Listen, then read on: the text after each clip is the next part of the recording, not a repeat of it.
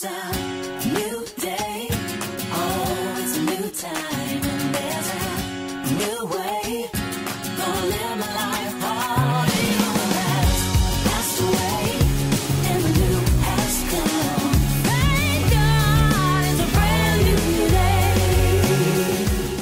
Thank a new you for tuning in to the Open Door Ministry Breadcrumbs podcast with me, your host, Barbara Smith. We are here to share our blog articles with you in an audio format. We know that people are very busy and constantly on the go, but we all still need daily inspiration in our lives. It is our goal to share a few thought provoking morsels that will challenge you to stay actively engaged in the Word of God. His Word is the bread of life.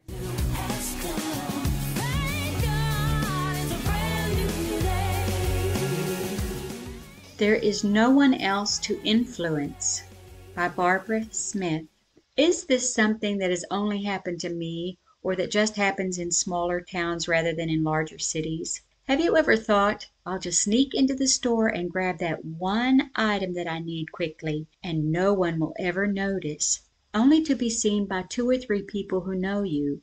Now you are caught feeling like you have to justify why you were in your pajamas gym clothes, yard workout clothes that have stains and holes on them, or have no makeup on, or you're having an extremely bad hair day.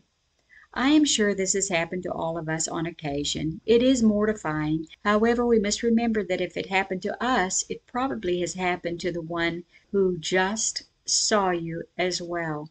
Also, keep in mind this was the decision you made knowing it could possibly go badly. You gambled and lost, and though you want to crawl into a hole at that moment, you will live to see them another day when you are fully dressed to the nines and you can save your shattered reputation. And alas, keep in mind, these only represented a couple of people and some extremely bad timing. With that in mind, I do live in a relatively small town, and my theory and this myth of I know just about everyone in town, or they know me, was obliterated a couple of weeks ago when I stopped in to our local post office to mail a package. It was exceptionally busy that day, and I realized as I made my transaction that not only did I not run into anyone I knew, but the attendants were all new as well. I didn't know a soul. This thought struck me, and about a week later I gave myself a test. We went to Tractor Supply, our puppy dog's favorite place, and I waited in the truck this time while my husband ran in quickly. As I sat there, many cars drove by in the parking lot. Some parked and went into the store, while others drove on. However, I had never seen any of those faces before. After dwelling on this and pondering these things, I have felt rebuked in my spirit, because for a while now I have held the thought, though subconsciously, that we know everyone in town and have been involved in all their lives in some shape or form of ministry. Therefore, the question in my mind has been, what possible difference could we continue to make here with no one else left to influence?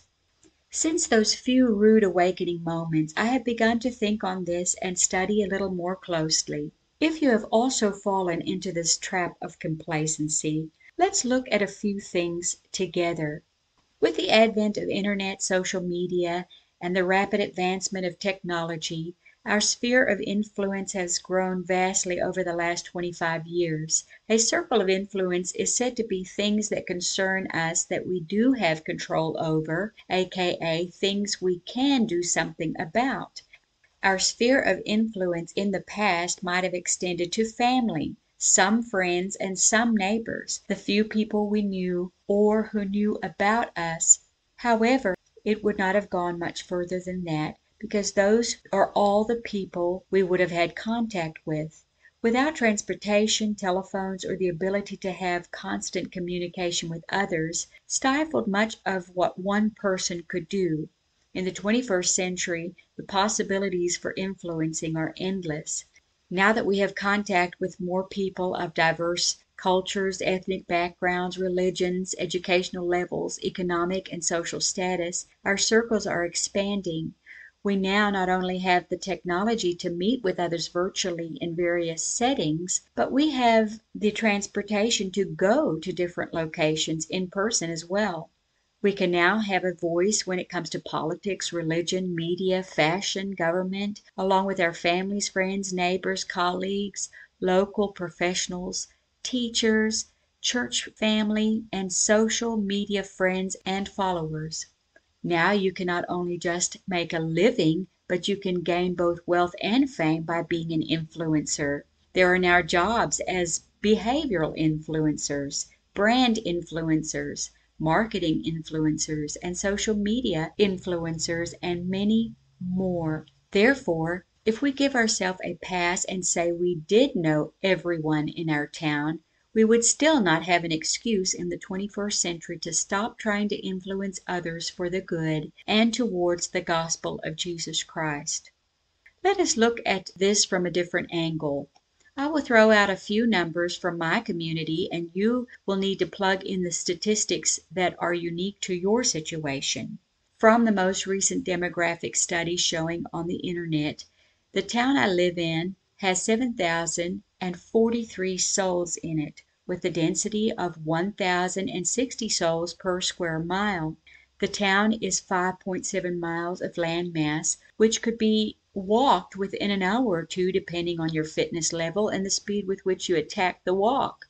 Extending this to the county, there are 26,892 souls with 46.5 persons every square mile. It is 577 square miles of land mass. Though this would take a lot longer to walk and would not be very practical, however, most families have a vehicle or can request a ride from someone within their sphere of influence. 82% of the households in the county I live in now have access to internet. This is my small town. What are your numbers looking like? With these numbers in mind, I sat down for a few moments and started thinking about all the people I know and who know me or of me in this little town and the surrounding areas. There are about a dozen towns in the immediate area of which some are in our county and some are not. So the numbers given could even be explored and extended even further. However, for the sake of this small illustration, let us stick with the seven thousand and the twenty six thousand. After racking my brain, I came up with a liberal possible 500 persons that I might be connected to in some way, shape, or form over the last 13 years we have lived here. Of course, this is an estimation and could be more or less. However, from that number you can see that I only know 0.7 per cent of the people in my direct town and only 0.01 per cent in my county. So we could accurately say that no, I do not know everyone, nor does everyone know me, and most have never even heard of me. Am I saying this is a bad thing? Absolutely not. On the contrary, this just means that there are still many places to go, people to see, meet, and influence right here on my own back doorstep, as the old timers say, without even including those that could be influenced by phone, travel, or online. This also means that the likelihood of me going somewhere, even to church or a place that I frequent daily, the chances of me knowing everyone there will be slim to none. Now let us look at these numbers in reference to the gospel. Remember, you must put your own life statistics and numbers into the equation to make this applicable to you. A very familiar passage, John 3:16 through 17 tells us, "For God so loved the world that he gave his only begotten Son, that whosoever believeth in him should not perish, but have everlasting life. For God sent not his Son into the world to condemn the world, but that the world through him might be saved." 2 Peter 3 verse 9 says, "The Lord is not slack concerning his promises, as some men count slackness, but is longsuffering to usward, not willing that any should perish, but that all should come to repentance." For this discussion the operative words in these two scriptures are "whosoever" and "all." It is not the will of God that any one perish. Therefore It is God's will, in the county that I live in, that 26,892 souls hear the gospel, which is the good news about the death, burial, and resurrection of Jesus Christ, and how they can apply it to their lives for salvation, and that they respond to it. Not just the same 500 people that I met and knew thirteen years ago, and may barely have contact with now. This would mean that mine and your work is far from over in our respective places of influence. Jesus said to his disciples in Mark 16, verse 15, Go ye into all the world and preach the gospel to every creature. They did just that in their world with the available transportation and means that they had, and we must do the same in ours. We often think that because we have given in the missions offering on Sunday, and that the funds will be going to reach those in Africa or South America in some small remote village that has never heard the gospel preached to them before, that it lets us off the hook and that all our obligations to the great commission of Jesus have been met. This is not the case. Our calling is to whosoever and to all who are in our world. This means, more specifically, to the people we rub shoulders with in the supermarket, or our co workers that we exchange with daily, or our fellow classmates. You have heard it said, You are the only Bible that some people will ever read. Our lives must always convey the truth of God's Word and His love. We are in the spotlight. No, much to our chagrin, we cannot just sneak in quickly to the store and grab that one item without being noticed. But we may not be seen by anyone we know yet, but it may be someone who God has put in our pathway that day to be a witness to of His love. The one way we can be an influencer for the gospel is to guard our reputation. I saw a plaque once that said, Live your life in such a way that if someone tells a lie about you, no one will believe them. The wise man said in Proverbs 22 verse 1, A good name is rather to be chosen than great riches, and loving favor rather than silver and gold. By having a good reputation, you can build trust and influence others not only by your one on one interaction with them, but by the word of mouth of others. These days they call it networking. We used to call it being friendly. Whatever your name for it is, make sure you are genuine in your dealings with others. Hypocrites and fakes are very easy to spot. To earn respect, which is essential for building your circle of influence, you must be polite, loving, and sincere no matter the circumstances or situation you are dealing with. You will never be able to lead until you show support for others. You don't have to self promote if you get to know others and lift them up.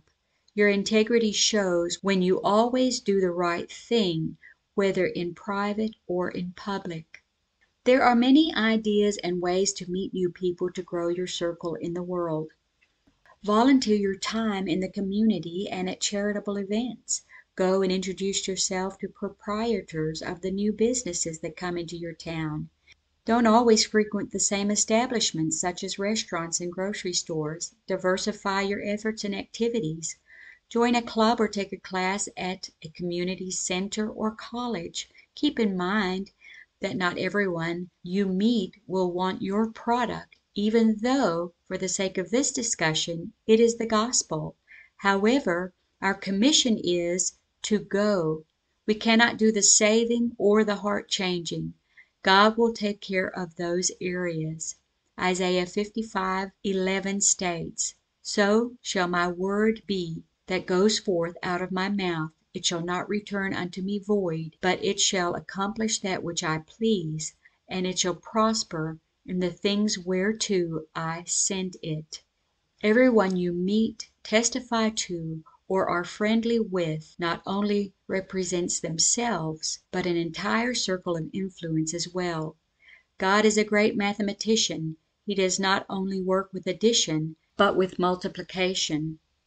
Even though we know that it is God's will in this county that all 26,892 souls be saved, Thinking of that number in those proportions, we can feel overwhelmed.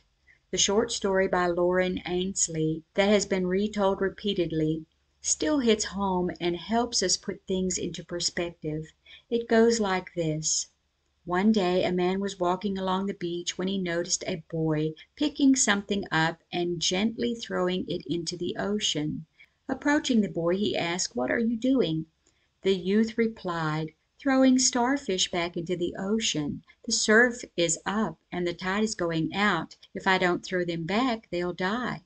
"Son," the man said, "don't you realize there are miles and miles of beach and hundreds of starfish? You can't make a difference." After listening politely the boy bent down, picked up another starfish and threw it back into the surf. Then smiling at the man he said, "I made a difference to that one." This helps us to see it's not about numbers on a roster, but it is about making a difference in someone's life.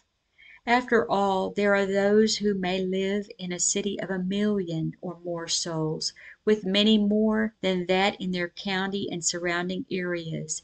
They will never reach them all by themselves, even if they tried a lifetime. But they can make a difference one soul at a time. This is where being led by the Spirit and being sensitive to the needs of others comes into play. God will lead us to those who are seeking after Him, who are hurting and in need. Pastors and leaders often have a goal in mind of how many members they want to have within a certain time frame, which is a noble and lofty aspiration, but this is often outside of their sphere of influence, aka they cannot control the hearts or responses of people. This is in God's hands. At a quick glance at the Yellow Pages I see that there are about sixty two churches of varying denominations in my small town. Each church would have to run 113 consistently to say that every one in town was reached. However, we have encountered so many church hoppers you never know how many brand new visitors are being counted versus those who were counted at another congregation last Sunday. Therefore, ministers should not put stock in the roster, but in the lives that are genuinely being changed and influenced by the preaching and teaching of the Word of God. There are so many folks in our world who are lost, hurting, sick, and disillusioned, and desperately in need of the Lord. In Luke 15, verses 1 through 10, Jesus says it this way Then drew near unto him all the publicans and sinners for to hear him. And the Pharisees and scribes murmured, saying, This man receives sinners and eats with them.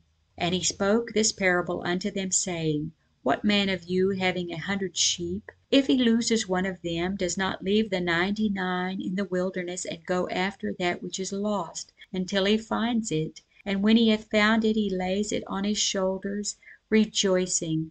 And when he cometh home, he calleth together his friends and neighbors, saying unto them, Rejoice with me, for I have found my sheep which was lost. I say unto you that likewise joy shall be in heaven over one sinner that repents, more than over ninety nine just persons, which need no repentance. Either that woman having ten pieces of silver, if she loses one piece, doth not light a candle and sweep the house, and seek diligently till she finds it? And when she has found it, she calleth her friends and her neighbors together, saying, Rejoice with me, for I have found the piece which I had lost. Likewise I say unto you, there is joy in the presence of the angels of God over one sinner that repents. Jesus is concerned for all of us, but he knows us by name and calls us one by one. We are on his radar. We are in his circle of influence. In wrapping this thought up, I would just like to throw out a quick cautionary note to those who are church hoppers, want to be influencers, or roster watchers. We must not think that by being a name dropper, or our own horn tooter, or a coat tail rider, that this makes us a wonderful dynamic influencer. Even Jesus, who was God robed in flesh, always deferred the credit back to the Spirit, aka God, so as not to give his flesh glory. Acts 19 11 through 17 gives us an account that did not go too well for those who were not sincere or genuine.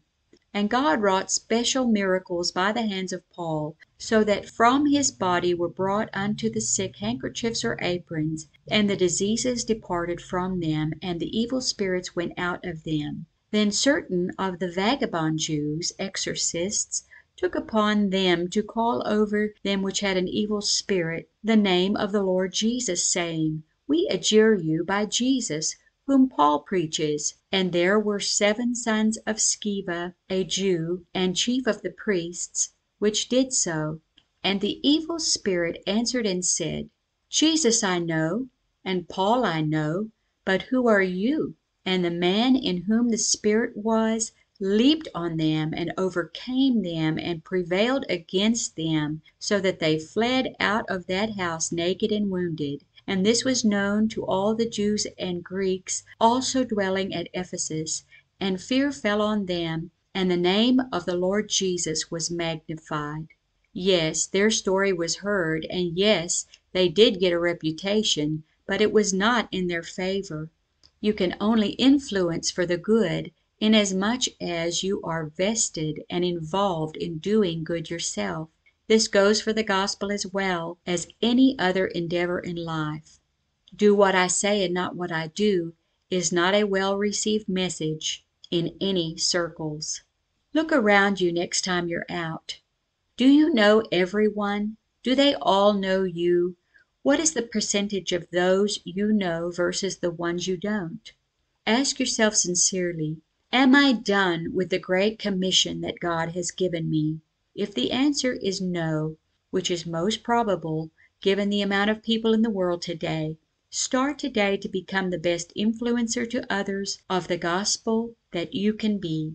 Improve your skills. 2 Timothy 2 verse 15 says, Study to show thyself approved unto God, a workman that need not to be ashamed, rightly dividing the word of truth. Branch out into different areas. Diversify your activities. If you only meet with, eat with, and rub shoulders with those who you already know and are saved, how can your light shine to those who are still searching? We are then just patting ourselves on the back without forward momentum or any accomplishment. They did not sit around and pat themselves on the back for inventing the light bulb, but continued to press on and extended the use of electricity to all facets of our lives, for which I, for one, am very grateful. Jesus said in Matthew 5, verses 14 through 16, Ye are the light of the world. A city that is set on a hill cannot be hid. Neither do men light a candle and put it under a bushel, but on a candlestick, and it giveth light unto all that are in the house. Let your light so shine therefore before men that they may see your good works and glorify your Father which is in heaven. Go forth and let your light shine. There are still plenty of people to influence right where you are planted. Be the best you that you can be. You are an influencer.